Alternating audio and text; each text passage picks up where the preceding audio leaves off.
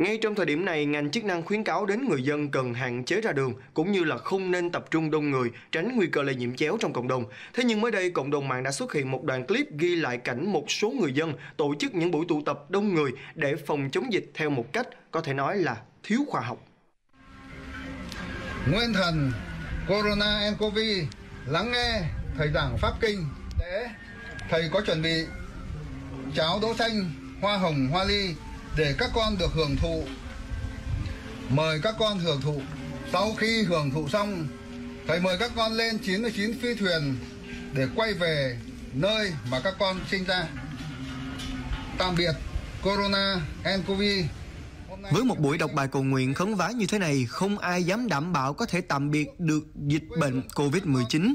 Nhưng trước hết, điều dễ nhận thấy nhất là những người này đang đứng trước nguy cơ bị lây nhiễm vì tụ tập đông người, tiếp xúc gần với nhau, nhưng không một ai mang khẩu trang, cũng không hề có trang phục bảo hộ nào. Một hành vi được cho là phòng chống dịch bệnh theo kiểu thiếu khoa học, thế nhưng lại được nhiều người tin tưởng một cách mù quáng như thế này. Tiếp tục chuyên mục camera nóng ngày hôm nay là một đoạn clip ghi lại chiêu thức hoạt động cực kỳ tinh vi của một nữ quái xảy ra tại chung cư mini và chiếc xe máy điện đã bị lấy đi chỉ trong tích tắc. Clip ghi lại vụ trộm xe máy điện trong một chung cư mini. Tên trộm là một phụ nữ khá trẻ, bịt khẩu trang kín mít. Lợi dụng lúc người dân mở cổng, người này giả bộ bình thản đi vào trong sân.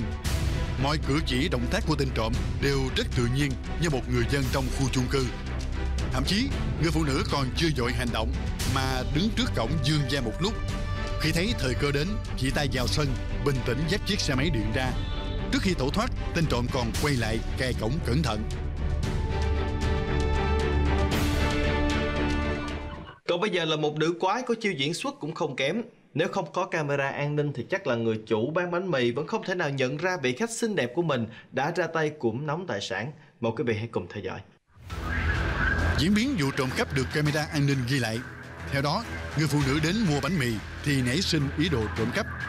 Lợi dụng lúc người bán loay quay làm việc, người phụ nữ nhanh tay bỏ chiếc điện thoại đang để hớ hên vào túi áo.